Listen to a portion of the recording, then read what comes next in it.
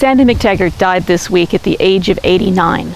He was a colossus in Edmonton's economic and cultural history, and I couldn't think of a better place to talk about his legacy than here at Soaring, the magnificent mid modernist mansion that he and his wife Cecile had commissioned for themselves on the banks of the North Saskatchewan in the early 1960s. When this house was built, there was no Riverbend. There was no Whitemud Freeway. In fact, this wasn't even part of Edmonton proper the family didn't have connection to city services. They had to burn their garbage because there was no garbage pickup. And that's a mark of just how the city changed over the life and times of Sandy Mactaggart.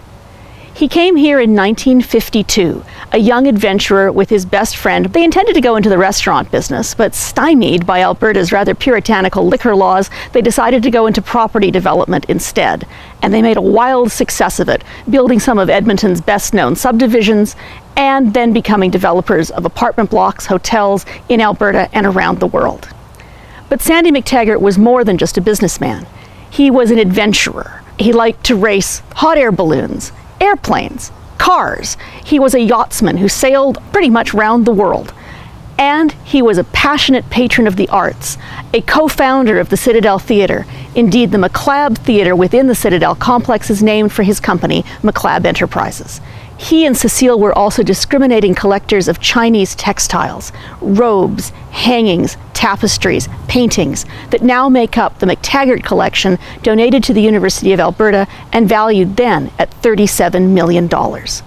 His gifts to Edmonton were legion, including the Mactaggart Natural Sanctuary, more than 250 acres of land in the Whitemud Creek Ravine, donated to the university and the city in the 1980s.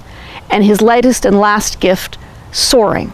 This house, valued at approximately $27 million, a gift to the University of Alberta in 2010. Sandy Mactaggart will be remembered in this community for his charm, his wit, his passionate, passionate commitment to Edmonton, and particularly his commitment to the University of Alberta, where he served as Chancellor, as a member of the Board of Governors, and for a brief time the Chair.